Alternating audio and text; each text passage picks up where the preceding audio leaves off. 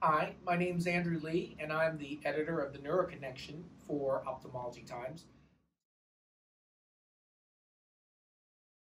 So a lot of things have changed for neuro-ophthalmology in my clinic, and I'm sure it's the same in clinics all across this country, both for ophthalmology and other providers. We, in the beginning, we rescheduled all the non-urgent and elective patients, and we rescheduled them to after the peak surge occurs to reduce the risk and try and flatten the curve. But some patients still need to be talked to or just have hand holding in a virtual manner or just have their records reviewed. And so those patients we have been talking to on the telephone and also switching to virtual neuro-ophthalmology. And you might think that neuro-ophthalmology would not be a good subspecialty to switch to virtual.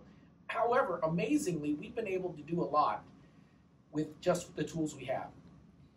With the virtual neuro-ophthalmology apps that are available, patients at home can test their visual acuity, can test their color vision, and test their visual field. Some of these visual field apps are available online and only require an iPad to use, and newer uh, software and hardware is coming down the line to allow us to use PCs.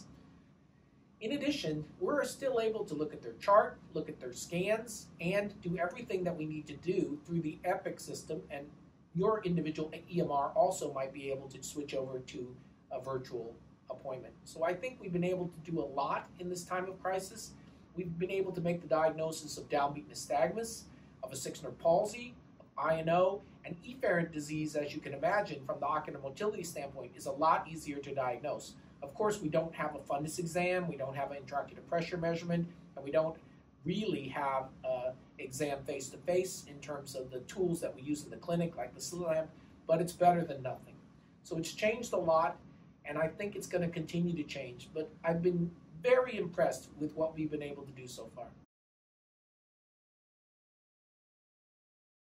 So in our clinic, we're an academic teaching institution. We have residents and fellows, all our medical students were sent home. So it's just the resident and the fellow. We maintain the six foot social distancing even in the clinic, and our lanes are quite small. And so sometimes that means leaving the door open. We tell the patient that's what we're doing, and they seem fine with it.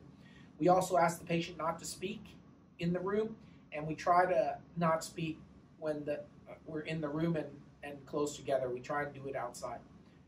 In addition, we're all wearing the masks and we have the shields, the breath shields on the slit lamp. And we have made some effort to keep our patients down to a minimum. And even when we're on rounds, we do that virtually through Zoom. Uh, our grand rounds, our morning report, all of the activities from the teaching standpoint, we're using virtual for that. And so things have changed a lot from the teaching side and also from the at the bedside teaching standpoint, and I think those changes are going to have to stay with us for a long time. In addition, one of the things that has really impressed me is our ability to teach was not diminished during this time, and I think we're doing actually more than we were able to do. Number one, we have more time because our clinic is less full. But number two, it really has brought us together as a team. I think that if we all just stayed at home and did nothing, it would be way worse than trying to maintain some normalcy and learn from the cases that we have and use the time effectively for some things that we couldn't do before, including writing papers and helping mentor medical students virtually. And so from this darkness, I think there's going to be some light.